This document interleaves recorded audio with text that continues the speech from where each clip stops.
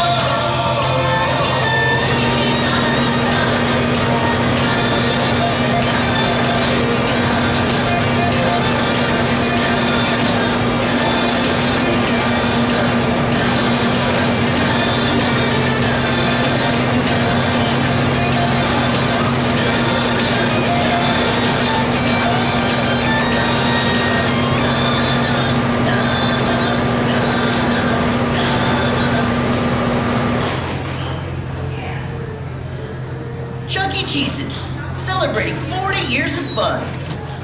And don't forget, class,